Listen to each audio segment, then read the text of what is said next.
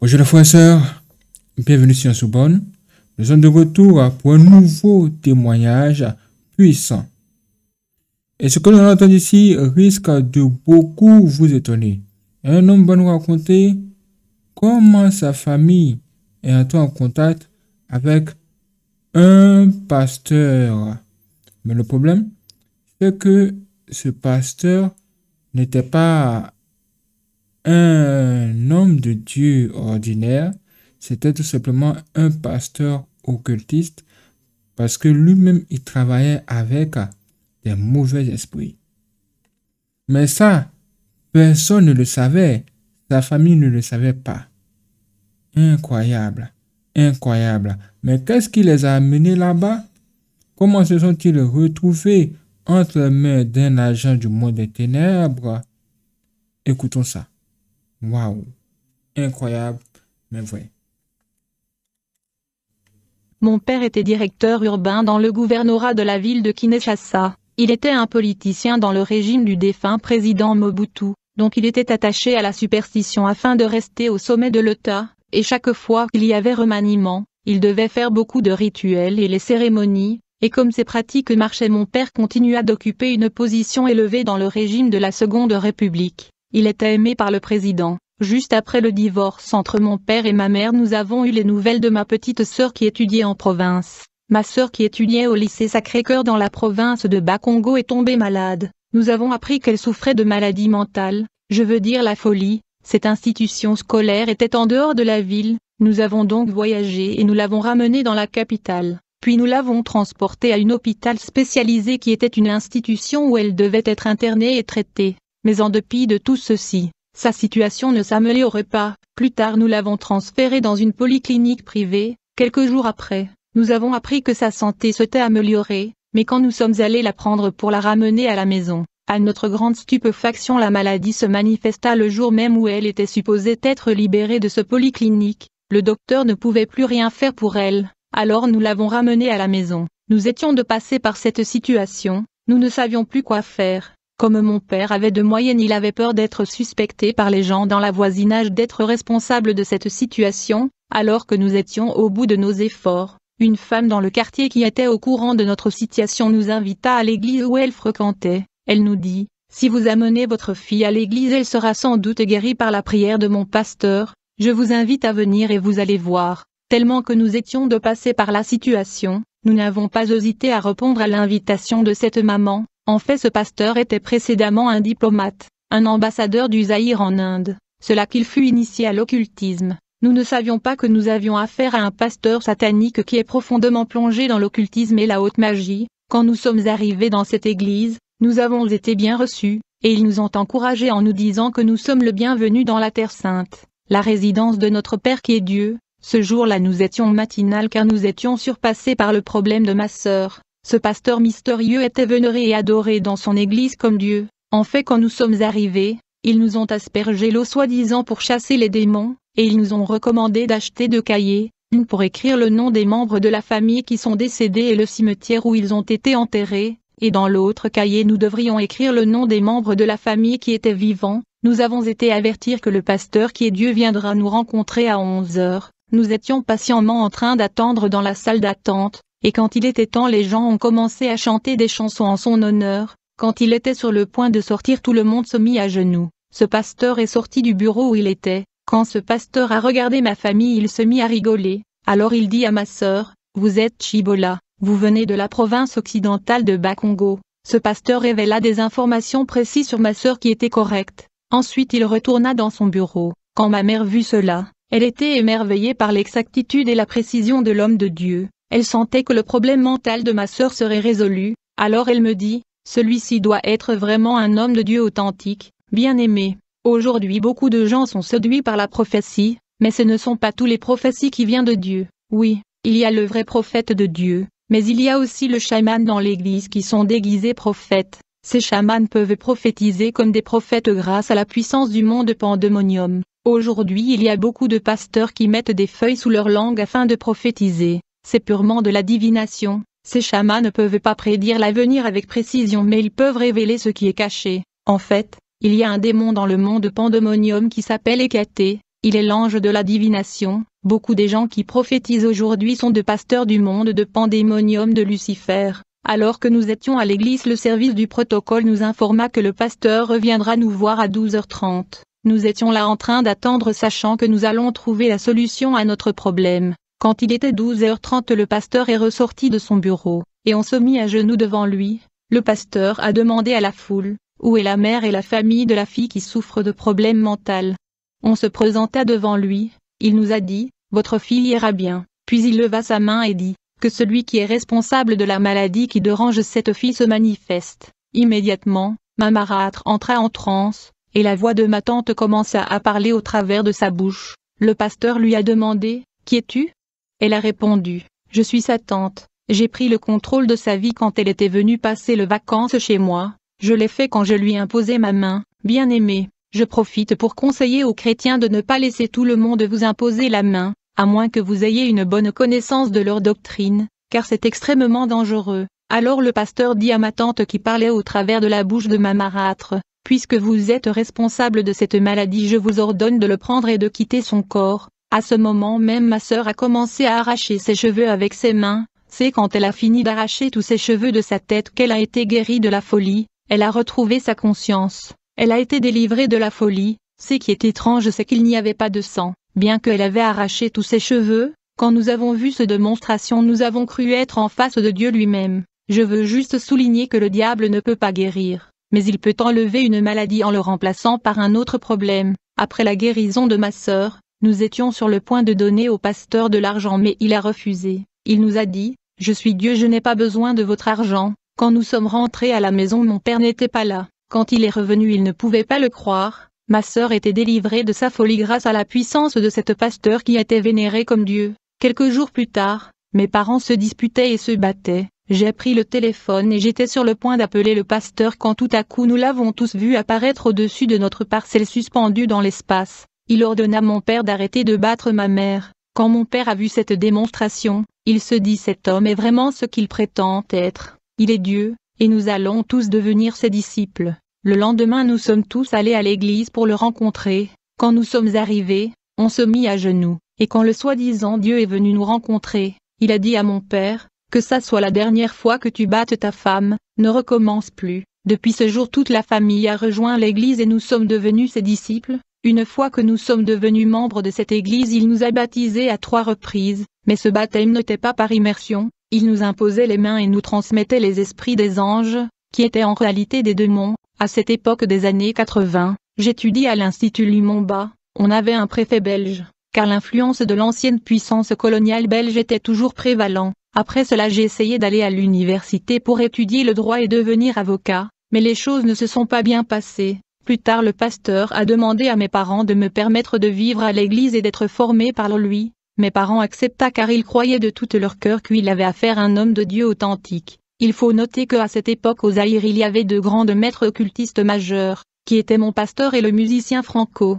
Au fait le musicien Franco Loambo était le premier sataniste dans le pays, il était le représentant de Satan au Zaïre. En seconde position était mon pasteur, quand le feu président Mobutu qui était aussi un sataniste est allé en Inde qui est le siège du gouvernement global de Lucifer pour l'initiation à la magie rouge. On lui a recommandé de consulter le deux grands maîtres qui étaient le musicien Loambo et mon pasteur. Il n'a pas aimé cela. C'est alors que le conflit avait commencé. Il a commencé à persécuter mon maître et le musicien Franco Loambo. Le feu président Mobutu était le représentant de Prima Curia, Ceci était une secte ésotérique l'alphabet 250 de la magie rouge. Il était le représentant 004, moi j'étais le représentant 006. Quand le président est revenu de l'Inde, il a commencé à combattre mon pasteur et le musicien Loambo Franco. Dans l'occultisme il y a beaucoup de jalousie. C'est ainsi qu'ils se battent pour le pouvoir. Et donc à la fin le président Mobutu a réussi à commander l'exécution de mon pasteur, mais avant cet assassinat,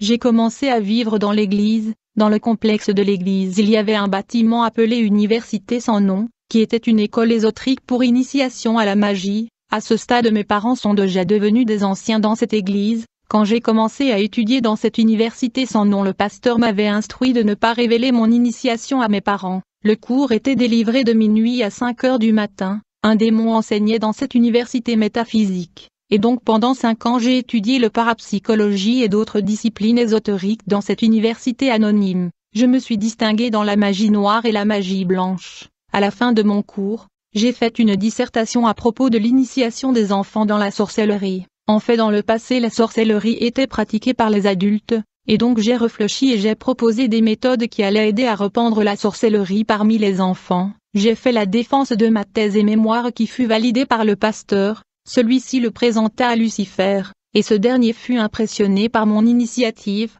alors le diable m'offra de voyager dans le monde macrocosme, le monde parallèle appelé le pandémonium. L'objectif de cette invitation était la signature du pacte de sang avec lui. Et donc quand il était temps mon pasteur m'a dit que nous devrions voyager hors du Zaïre. Il ne m'a jamais dit que nous voyageons vers le monde parallèle pour rencontrer le diable, celui qui est appelé Brahma, Tetadramaton, aumônier à deux cœurs, PDG Félix Natas, que les habitants de la terre appellent Satan, ce jour-là le pasteur m'a demandé de le rejoindre dans sa chambre privée à minuit.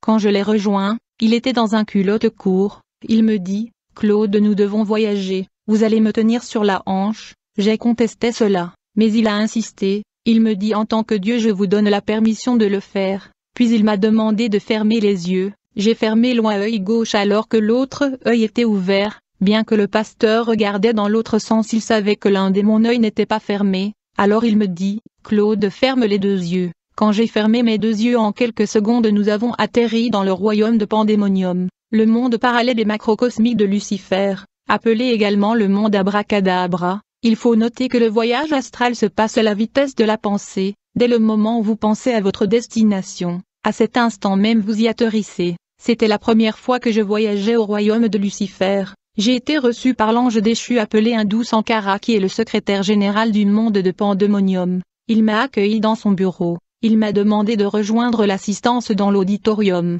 Cette ville était plus moderne que les grandes métropoles à la surface de la Terre. Ceci était une civilisation préhistorique et urbaine. L'ange m'a dit que l'auditorium est déjà plein des participants. Il me recommanda d'entrer dans la salle de réunion et de rejoindre l'assistance parce que le souverain du monde de Pandemonium va bientôt entrer et personne ne peut entrer après lui. Je suis donc entré dans la salle de réunion qui était une construction angélique plus beau que toute architecture humaine se trouvant sur la Terre. La beauté des infrastructures du monde parallèle est supérieure à la civilisation et la technologie des hommes. Quand j'ai rejoint l'assistance dans l'amphithéâtre j'étais surpris de voir le nombre de leaders mondiaux dans ce réunion. Il y avait des aristocrates, des familles royales, des politiciens, des leaders ecclésiastiques, des acteurs de films, et des célébrités musicales. J'avais vu même le musicien Michael Jackson, raison pour laquelle je conseille aux chrétiens de ne pas envier qui que ce soit dans ce monde, même pas des célébrités parce que vous ne savez pas les réalités cachées. À l'intérieur de cet auditorium technologiquement avancé étaient des Noirs, des Blancs, des Chinois, des Indiens et tous les races du monde entier. Quelques minutes après avoir pris place, nous avons été invités à se lever car le souverain du monde invisible était sur le point d'entrer. Quand il entra dans l'enceinte de cet auditorium, j'ai remarqué qu'il avait la ressemblance d'un jeune garçon de 20 ans. Il avait pris l'apparence d'un Européen. Il était tellement beau. Quand il est entré dans la salle il signala l'assistance de ce maître. Immédiatement son directeur de cabinet l'ange déchu au nom de Nabam a commencé à s'adresser à l'assistance. Puis il a commencé à appeler les nouveaux venus à avancer vers l'estrade à tour de rôle pour signer le pacte avec le diable. Et quand il était mon tour il appela mon nom, et je me suis levé. Puis il dit à l'assistance, nous vous avons réunis parce qu'au milieu de nous, il y a un jeune homme qui a mis en place une nouvelle méthode de propagation de la sorcellerie. Précisément parmi les enfants, il a trouvé un moyen de rependre la sorcellerie chez les enfants, raison pour laquelle il a été convié à signer le pacte de sang avec l'administrateur général le PDG Félix Nata. Cette réunion était un samedi. En fait les sorcières se rencontrent le lundi, le mercredi et le vendredi, mais tous les samedis Lucifer tient un rassemblement de minuit à 4 heures du matin, et donc tous les samedis se tient la messe noire, le sabbat noir, qui est une réunion nocturne et mondiale de satanistes qui est présidée par Lucifer. Certaines de ces réunions ont lieu sous l'eau, dans l'espace, sur la lune et dans les enfers. Ce chérubin puissant au nom de Satan qui était l'ancien porteur de lumière consomme la chair de 2000 à 3000 personnes chaque samedi, et donc le secrétaire de Satan au nom de Nabam m'a convié d'avancer vers l'estrade où était assis le diable, je ne savais pas que le jeune homme blanc sur le trône était Lucifer lui-même. Le diable travaille avec l'homme à travers le pacte et les alliances. Alors quand je l'ai rejoint sur le podium, je remarquai qu'il était extrêmement beau. Cette beauté dépassait de loin celle des êtres humains à la surface de la terre. Sur sa table j'ai vu trois stylos qui étaient rouges, bleus et noirs, et il y avait aussi un rasoir et un livre massif. Alors le diable m'a demandé de signer sur le livre, mais quand je voulais prendre le stylo rouge pour signer il a refusé. Alors j'ai tenté de prendre le stylo bleu pour signer mais il m'avait opposé. Finalement j'étais sur le point de prendre le troisième stylo pour signer. C'est alors qu'il me dit non. J'étais aggravé par son attitude, et donc j'avais perdu mon sang-froid, et dans ma frustration j'ai haussé le ton de ma voix contre lui, et je lui ai dit, mon frère, qu'est-ce qui ne va pas avec toi? Es-tu en train de réfléchir? Comment voulez-vous que je signe si je ne fais pas utilisation d'un stylo? Immédiatement j'ai vu mon pasteur se lever, et il se précipita à venir où j'étais, et il m'a pris sur le côté du bâtiment et me dit, Savez-vous qui est la personne qui est assise là-devant? Pourquoi élevez-vous votre voix? J'ai répondu à mon maître, Je ne comprends pas ce jeune garçon, il ne veut pas me laisser signer avec les trois stylos qui sont là, bien aimé, je ne comprenais rien du tout, mais j'ai constaté que mon maître semblait être alarmé et paniqué, il me dit, Claude, je pense que je dois vous dire toute la vérité, le jeune garçon qui est assis là devant tout le monde est Lucifer qui a été chassé du ciel par Dieu. Il est le chef de ce monde. Il est écrit. Jésus leur dit, Je voyais Satan tomber du ciel comme un éclair. Te voilà tombé du ciel, astre brillant, fils de l'aurore.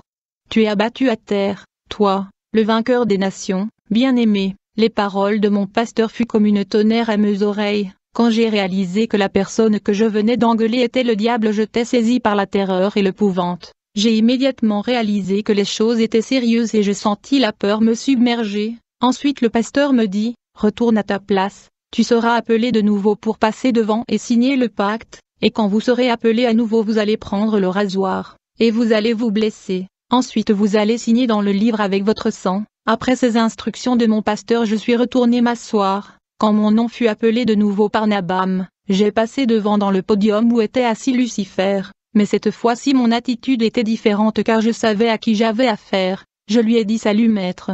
Il répondit à ma salutation. Alors j'ai pris le rasoir, je me suis blessé, et je signai avec mon sang dans le livre massif qui était ouvert sur la table. Quand Lucifer a vu cela, il se leva de son trône avec enthousiasme et m'embrassa. Il me dit, Vous êtes le bienvenu mon fils bien-aimé, vous êtes courageux, je cherche des gens comme vous. Après avoir signé le pacte avec le diable, j'ai dû boire un breuvage magique. On me donna un calice contenant du sang humain que je devais boire pour que mon esprit devienne fort. Après avoir bu ce sang humain, je fus nommé par le diable comme ambassadeur itinérant 006 pour l'Afrique. Immédiatement après ma nomination, j'ai mis en place un bureau dans l'endroit où est construit l'hôpital du cinquantenaire. Il était auparavant un buisson, mais mon bureau était là dans l'espace. Il était beaucoup plus luxueux que la grande hôtel ou l'hôtel intercontinental, mais ce bureau était invisible et ne pouvait être vu qu'avec des yeux spirituels. Le diable avait mis à ma disposition 86 esprits démoniaques puissants qui me servaient à tant coup ambassadeur pour l'Afrique.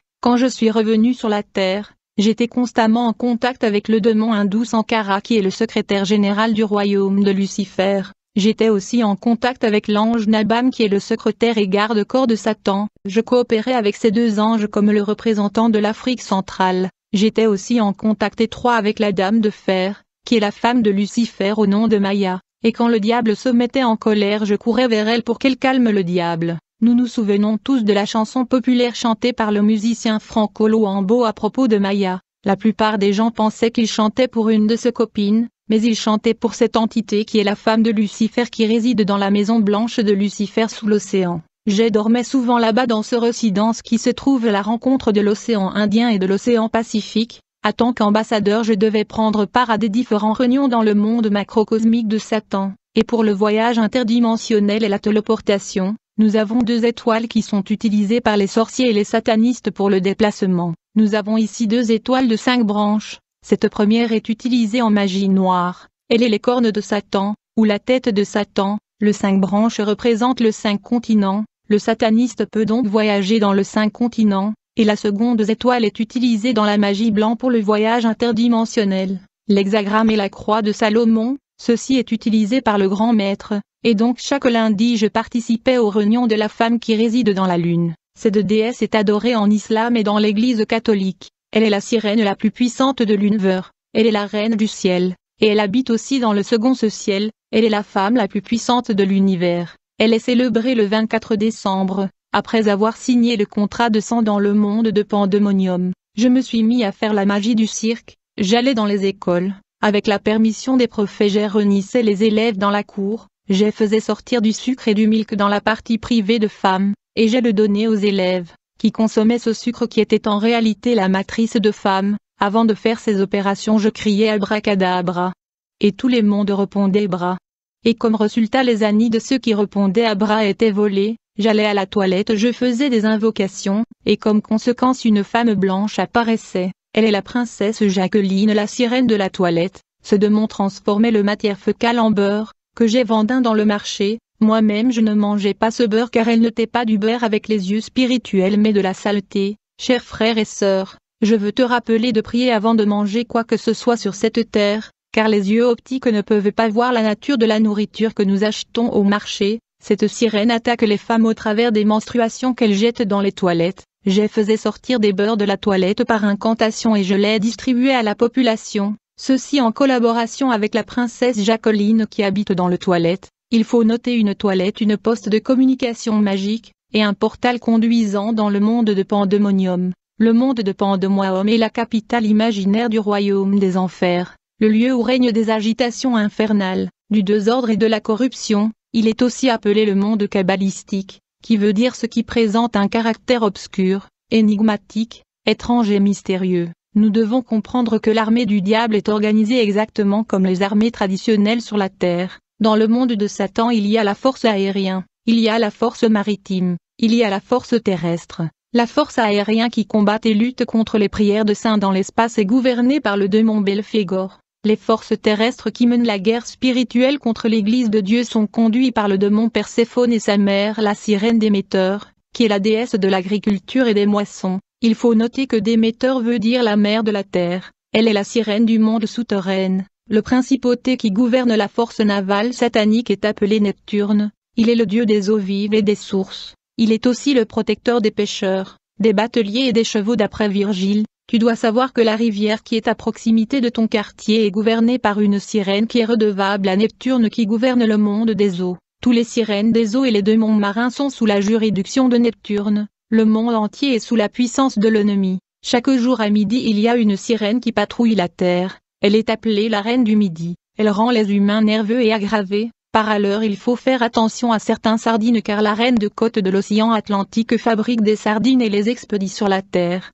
Ce principauté fait partie du force navale dirigée par Neptune. Toujours dans la force navale de Satan nous avons aussi une sirène qui est stationnée dans les toilettes appelée la sirène Jacqueline dans la magie musulmane. Elle est appelée Chance Magdalene dans la magie noire. Et dans la magie blanche elle est appelée Milan. Elle est la sirène de la toilette. Elle se considère comme membre de toutes les familles sur la terre car elle dispose des informations sur toutes les familles sur la terre. Elle habite dans le toilette de toutes maisons sur la terre. La toilette est une poste magique, quand un sorcier vous rend visite pour la première fois il va se précipiter à aller dans la toilette pour recueillir des informations sur vous chez la sirène Jacqueline. Les sorciers font des incantations dans la toilette car c'est une poste magique et une portail vers le monde de Satan. Les sorciers écrivent des lettres et ils le jettent à la toilette. Dans le monde sous-marin il y a aussi la reine du sabbat qui opère le samedi, et qui se préoccupe de la séduction par les produits de beauté, de la mode et des habits séduisants. Elle distribue des habits, des lotions et parfums dans le monde des eaux. Chaque samedi cette sirène pousse des hommes et des femmes à l'impudicité. Il y a aussi une femme qui porte un bebe sur le dos qui habite dans le soleil, elle est appelée la reine du ciel, elle habite aussi dans la lune, elle est appelée l'Immaculée, Notre-Dame, Fatima, dans la rose croix elle est appelée Rose. Ceci est le symbole de la lune crescent qui est la représentation de la sirène Diane, l'étoile reproche Lucifer. Quand j'étais dans l'occultisme je sortais de mon corps, et je voyageais vers la lune pour assister au rassemblement de la sirène Diane. Dans la lotion Belle Dame il y a son visage. Parmi les forces navales de Satan il y a un sirène qui s'occupe de la technologie et des industries de production qui fabriquent des articles que nous utilisons sur la Terre comme les vêtements, les lotions, les produits de beauté et les appareils électroménagers. Tous les industries du monde sous-marin sont gouvernées par cette sirène au nom d'Athéna. J'avais participé à une messe noire en Inde où elle procédait une réunion sur la fabrication de la voiture appelée Dada. J'ai pris part à une autre réunion qu'elle a tenue en Allemagne sur la conception du véhicule Mercedes et le véhicule Benz. Je n'ai jamais été en Allemagne physiquement, à tant qu'ambassadeur itinérant pour l'Afrique. C'était par le voyage astral que j'assistais à ce réunion de la sirène Athéna en Allemagne, beaucoup des appareils, des articles, des vêtements, des voitures que nous utilisions à la surface de la Terre sont conçues dans le monde sous-marin grâce à la sagesse et la puissance de la sirène Athéna, qui mettent des signes et des marques sur ces articles qui envoûtent l'humanité. Chers frères et sœurs, je vous rappelle de prier pour tout ce que tu achètes avant de l'utiliser, car le monde des eaux nous envoie des vêtements et des appareils électroménagers. Il y a diverses industries et usines de production dans le monde de 7 ans sous l'eau. La sirène Athéna est responsable des avancées technologiques que nous voyons à la surface de la Terre. La sirène Athéna était une déesse dans la mythologie grecque, identifiée à Minerve chez les Romains. Elle est la déesse de la sagesse, de l'industrie et de la stratégie militaire. Elle est la patronne des artisans et de l'artisanat. Elle est responsable de la poterie, des tissages, de la sculpture, des artistes et des maîtres d'école. Elle fait partie des douze Olympiens. Il y a beaucoup de poudres et parfums conçus par les industries du monde des eaux. Ces poudres et parfums sont même utilisés dans le rituel magique, des parfums comme Soudan, de poudres comme déesse. Il y a aussi des poudres jolies soir et le poudre perlimpinpin qui est conçu par les sirènes, des produits de beauté comme Venise. La plupart des produits des maquillages et lotions sont contrôlés par les sirènes. Par ailleurs on se renissait dans le rond-point Victoire avec les sorciers. Il y a une sirène dans ce rond-point de la capitale congolaise. On faisait l'incarnation macrocosmique supérieure, je veux dire on se transformait en des moustiques, et on se renissait sur un arbre qui est dans ce rond-point avec le diable lui-même, personne ne pouvait suspecter qu'un nombre des insectes dans l'arbre étaient des sorciers et satanistes en renion. Déjà on commençait par neutraliser ce périmètre de cet endroit. Il faut toujours se méfier de ronds-points populaires, ce sont des lieux des de sorciers, pour capturer les âmes des innocents les satanistes utilisent parfois le pentacle et donc j'ai dessiné les pentacles dans les places publiques et les ronds-points. Une fois qu'une personne qui n'a pas Jésus-Christ piétinait ce pentacle mon bouteille mystique se remplissait du sang de ce victime, qui mourrait pas très longtemps après avoir piétiné ce pentacle. Je travaillais aussi avec trois démons, qui sont les démons de l'ivrognerie, le démon du tabac et le démon de la musique. Ceux qui sont dans l'ivrognerie sont influencés par le démon Dionysos, qui est le dieu de la vigne, du vin et de ses excès, de la folie et la démesure, dans le sommet mondial des satanistes en Inde j'ai rencontré le démon tabac, celui qui influence le gens à fumer, et je travaillais aussi avec le démon de la musique appelé Sankai. Quand une personne est poussée par le démon l'ivrognerie qui est Dionysos, il va se retrouver sous le contrôle du démon de la musique dénommé Sankai, et enfin il sera manipulé par le démon tabac. Bien aimé, il faut savoir que le démon Moloch gouverne le monde dans le mois de décembre, qui est le mois de sacrifice et l'aspersion du sang humain. D'abord l'ange déchu au nom de Baal gouverne le monde au mois d'octobre, dans le mois de novembre le démon au nom de Katé gouverne le monde. J'ai dit que le mois d'octobre est gouverné par le dieu Baal, mais du mois de novembre au mois de janvier le sang humain est versé en grande proportion. C'est le démon Moloch qui suggéra ce politique. Je vous informe qu'il y a plusieurs installations des oléoducs, et des canalisations destinées au transport du sang humain allant de la surface de la Terre jusqu'au monde de Lucifer sous la terre et sous l'eau. Ces canalisations vont directement aux citernes, aux cuves et aux réservoirs du sang dans le monde du diable. Pendant le massacre et le sacrifice humain de la fin de l'année le sang va de la terre jusqu'aux citernes et réservoirs du monde de Satan. Au fait la boisson du diable est le sang humain, et la nourriture du diable est la chair humaine. Le diable s'assure que les réserves de sang humain est pleine parce que c'est le vin dans le monde des esprits. J'ai dit que le mois d'octobre est gouverné par Baal, mais du mois de novembre au mois de janvier le sang humain coule en grande proportion. Il y a des canalisations et des oléoducs allant de la surface de la Terre au monde de Lucifer sous terre et sous l'eau. Ces canalisations vont directement aux citernes et des réservoirs du diable. À vrai dire la chair humaine et la nourriture de démons. Le mois de décembre est gouverné par le démon Moloch, qui vivait précédemment dans les régions célestes, mais qui a été expulsé du ciel avec Lucifer lors de l'insurrection dans le ciel. Le démon Moloch est responsable du sacrifice humain et de tuerie du fin de l'année. Toutefois dans les messes noires du 24 décembre, Moloch passe la gouvernance du monde à la reine du ciel, l'Immaculée Notre-Dame Marie Marguella. La reine du ciel et son fils Jupiter prennent contrôle de la gouvernance de la terre à partir du 25 décembre jusqu'au 31 décembre. Puis le démon Belial prend contrôle de la gouvernance du monde au mois de janvier. Toute cette période de la fin de l'année tourne autour du sacrifice, des tueries, et l'abattage des humains. Le sang humain est utilisé comme pétrole et carburant dans le monde de Satan et la chair humaine est la nourriture de la population démoniaque du royaume de l'obscurité. Le diable n'accepte pas et ne permettra pas la diminution de la réserve du sang humain dans son royaume. À chaque fois que cela arrive il va jusqu'à provoquer des guerres. C'est pourquoi quand on arrive au mois de novembre, décembre et janvier j'invite les enfants de Dieu à être dans l'attitude de prière, parce que les sang humain va couler. D'autre part nous devons noter que le 24 décembre il y a un sommet global, une convention annuelle mondiale des satanistes du monde entier, chacun d'eux est obligé de venir avec un âme humain comme offrande à Satan, la rencontre est inaugurée par Moloch qui gouverne le monde au mois de décembre. Celui-ci remet le contrôle du monde à la reine du ciel Marie Marguella. Ce réunion est présidé par le diable. Ce sommet annuel mondial se déroule au sous-sol de l'Inde dans le temple de Daïl le siège du gouvernement global de Lucifer. Dans cette réunion les maladies qui devaient émerger sur la terre dans la région différente sont déterminées. Les anges déchus et les principautés décident les guerres et conflits militaires qui seront implémentés dans différentes régions de la Terre pendant la nouvelle année. Ils décident et programment des accidents de la circulation, des crashs des avions, des naufrages de bateaux qui sont tous des sacrifices humains. Ils programment aussi des catastrophes naturelles et des désastres qui vont frapper différentes régions du monde, alors que les principautés et les anges déchus décident des événements mondiaux majeurs préjudiciables à l'humanité. Le monde entier est en fait criant joyeusement Noël et bonne année.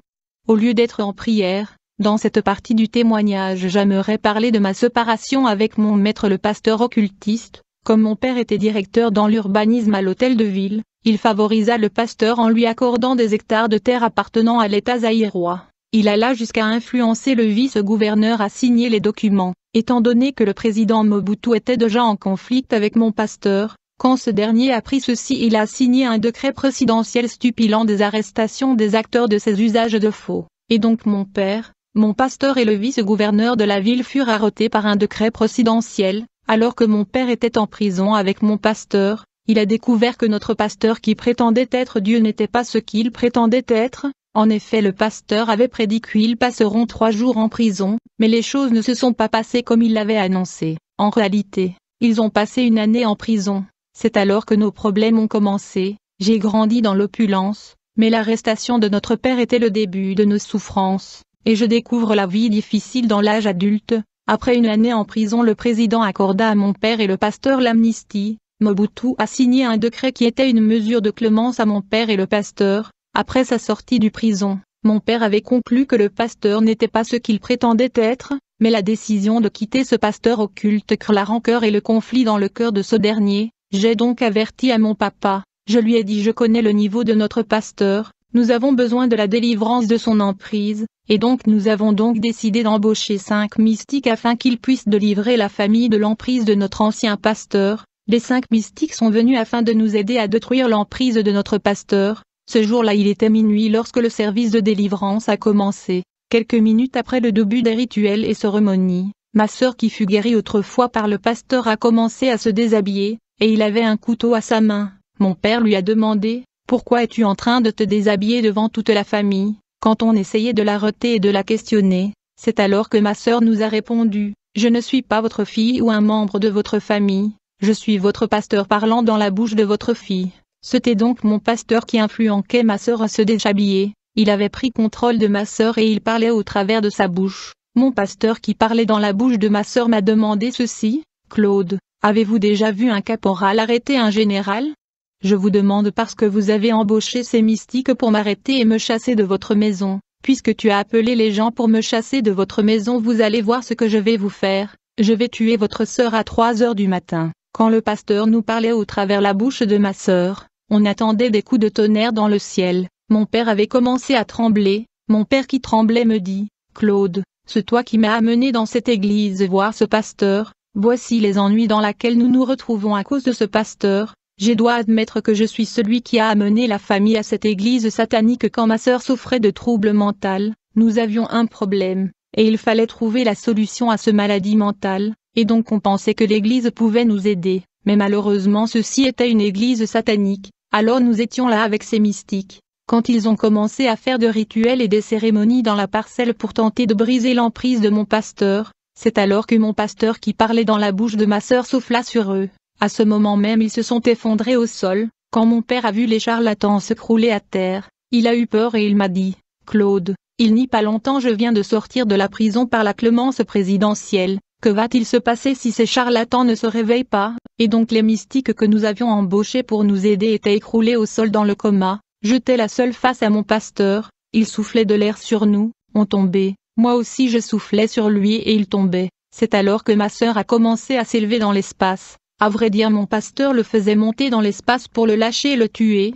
Ce pouvoir est appelé lévitation. Alors que ma sœur montait dans l'espace je me suis dit si je n'interviens pas elle risque de tomber et mourir. À ce moment j'ai commencé à faire des incantations, et j'ai commencé à m'élever dans l'espace, jusqu'à l'altitude où elle était et je l'ai attrapée, et donc nous avons commencé à descendre ensemble, ce qui m'a aidé contre mon pasteur qui était dans la magie blanche et que j'avais un ami qui était dans d'autres formes de magie. Après avoir atterri avec ma sœur sur le sol j'ai vérifié l'heure et j'ai remarqué qu'il était 3 heures moins quart, mon pasteur avait promis de tuer ma sœur à 3 heures juste, j'ai essayé d'employer le champ magnétique supérieur contre le pasteur, c'est alors qu'il me dit, Claude je suis celui qui vous a initié, vous êtes juste un étudiant, mais aujourd'hui votre sœur va mourir. J'ai dit au pasteur, vous êtes celui qui a guéri ma sœur, mais je ne comprends pas pourquoi vous voulez la tuer. Le pasteur me répondit, vous ne pouvez pas vous décider de me quitter de cette manière, c'est inacceptable. À ce moment-là nous étions à cinq minutes de l'heure promis par le pasteur de tuer ma sœur,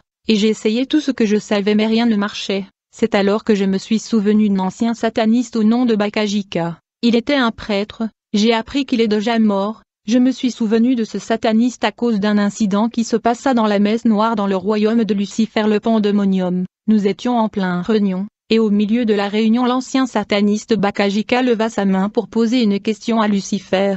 Le diable lui a donné l'autorisation de parler. Le prêtre Bakajika dit au diable, J'étais en affectation quelque part mais mes instruments furent détruits quand les gens avaient cité un nom. Le diable dit au prêtre Bakajika, Mon fils, n'ayez pas peur. Dis-moi quel est ce nom. Alors le prêtre cita le nom de Jésus-Christ. Quand ce prêtre catholique avait cité le nom de Jésus-Christ dans ce réunion nous étions tous effondrés au sol, et nous étions paralysés. Le trône de Lucifer a été détruit et brisé. C'était la première fois que je voyais le maître Brahma Lucifer au sol, et son trône métallique était détruit par la simple mention du nom de Jésus-Christ, tout le gourou, les mystiques et satanistes étaient paralysés pour 45 minutes. Après 45 minutes au sol j'ai vu Lucifer se relever, et il a dit au prêtre Bakajika, à partir de maintenant je te défends de citer ce nom ici, le diable aimait beaucoup ce prêtre, c'est pourquoi il ne l'a pas tué, mais dans le passé d'autres satanistes qui avaient commis l'erreur de prononcer le nom Jésus-Christ devant le diable étaient tués, quand nous retournions sur terre, le prêtre m'a demandé, comment un nom peut nous neutraliser de la sorte? Il m'a demandé, que pensez-vous de tout ceci, et ce que nous devons abandonner Je lui ai encouragé à continuer, mais nous étions stupéfaits par ce qui se passa dans cette sabbat noire. Alors quand je me suis souvenu de cet incident, j'ai pensé à ce nom de Jésus-Christ, qui avait détruit le trône métallique de Satan, et nous avait paralysés tous pendant 45 minutes. Je me suis dit ce nom de Jésus-Christ peut sauver ma sœur de ce pasteur, J'étais désespéré. Quand il était 3 heures moins 5 minutes, je me suis souvenu du nom cité par le prêtre catholique Bakajika, bien que j'étais encore un sataniste. Alors j'ai dit à mon pasteur, au nom de Jésus-Christ lâchez ma sœur. À ce moment ma sœur s'est effondrée sur le sol, et le pasteur occulte a déclaré, ne citez pas ce nom, mais mon père m'a dit, Claude, répétez ce nom-là à nouveau, il ne peut pas le supporter. Alors j'ai dit au nom de Jésus-Christ contre mon pasteur, en conséquence l'esprit de mon pasteur dans le corps de mon sœur était neutralisé, et il fut incapable de tuer ma sœur. Ce jour-là ma famille avait contemplé la puissance du nom de Jésus-Christ.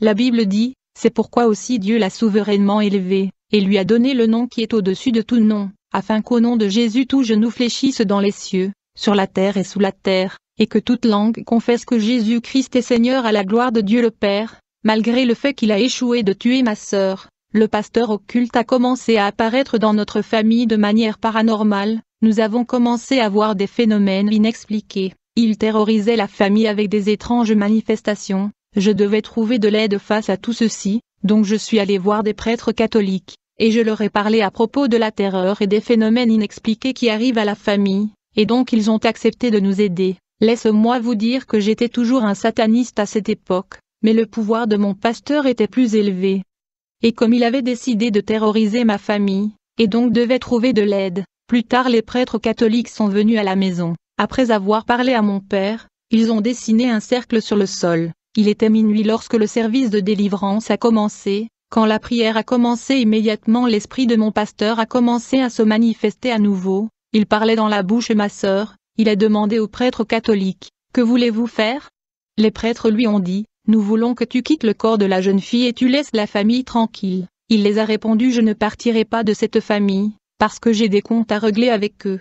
À ce moment-là, les prêtres catholiques ont tracé un pentacle au sol, et ils ont jeté l'eau bénite sur ma sœur. En revanche mon pasteur souffla de l'air sur ces prêtres, comme conséquence je l'ai vu perdre l'équilibre, mais ils ne sont pas tombés comme le mystique qui était écroulé au sol, après avoir retrouvé leur équilibre ils m'ont dit, Claude tu avais vraiment de gros ennuis, vous avez devant vous une puissance incroyable, c'est alors que le prêtre dit au pasteur, donne-nous votre numéro cabalistique, le pasteur leur donna son matricule cabalistique qui était 006 et 15. Alors les prêtres ont engagé la bataille contre le pasteur pour l'expulser. Ils le brûlaient avec le feu mais le pasteur les a résistés toute la nuit jusqu'au matin. Quand il était 4 heures du matin, les prêtres ont fait sortir le breuvire divin, et ils ont entouré ma sœur, et quand ils ont sonné une sonnerie, ma sœur se mit crier très fortement, comme si elle était brûlée par une flamme ardente, puis le pasteur a dit au prêtre laissez-moi partir, je veux partir. À ce moment le prêtre nous a ordonné d'ouvrir la porte de notre parcelle. C'est alors que mon pasteur me dit, Claude, je laisse ta famille tranquille, mais tout ce que je vous demandais est de garder silence à propos de tout ceci, sinon il y aura des conséquences. Les prêtres catholiques avaient donc réussi à expulser le pasteur de notre famille, bien aimé. Depuis ce jour-là je suis devenu proche des prêtres catholiques, et en cherchant la solution dans l'église catholique j'ai fini par être initié par ces prêtres dans la magie sacrée, qui est un branche de la magie blanche. La prochaine fois je parlerai de mon initiation à la magie sacrée, et mon conflit avec ces prêtres catholiques qui a été arbitré par la sirène sous le fleuve Congo. Après sa libération de la prison, le conflit entre mon ancien pasteur avec le prophète Mobutu continua. Ils étaient des gourous, des maîtres spirituels, ils étaient donc en conflit spirituel, ils se cherchaient, l'un voulait dominer l'autre, Mobutu envoyait les gens collecter les sables de la parcelle du pasteur pour utiliser ses empreintes digitales, mais le pasteur était tellement supérieur qu'il détruisait cela par la puissance du champ magnétique qu'il déployait.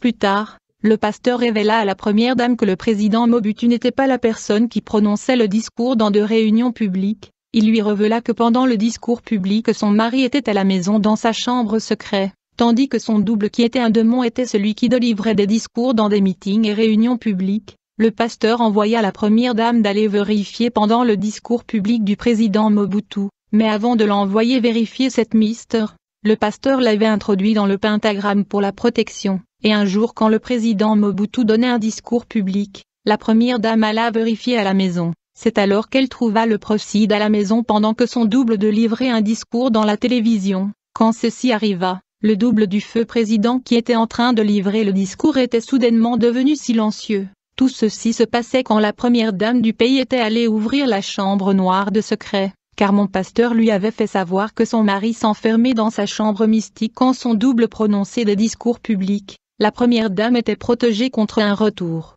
autrement elle aurait été devenue fou. Cet incident accentua le conflit entre le pasteur et le feu président Mobutu. La première dame était protégée par le pentagramme du pasteur. Il faut noter que le président Mobutu était dans la magie rouge, qui est la branche la plus meurtrière de la magie. Il devait donc sacrifier en des gens en grand nombre pour augmenter son pouvoir raison pour laquelle tous les enfants et la famille de Mobutu sont presque morts. Les enfants ne sont plus là pour jouir de ses avoirs. D'autre part le musicien Franco était un grand maître occulte. J'ai assisté des messes noires dans le pandémonium qui fut dirigé par lui et par mon pasteur. Je me souviens avant sa mort Franco Luambo était revenu de l'Europe au Congo. Il avait le problème de santé, et il disait à la télévision, j'ai abandonné toute chose et je reconnais que Christ Jésus est Seigneur mais mon soupçon est qu'il n'avait pas complètement tout abandonné. Waouh. Waouh. Extraordinaire. Dites-moi ce que vous en pensez les amis. Si je vous donne rendez-vous pour la prochaine vidéo tout à l'heure. Ça va être extraordinaire. Hum. Faites très attention. Ce n'est pas de ce qui brille qui est de l'or.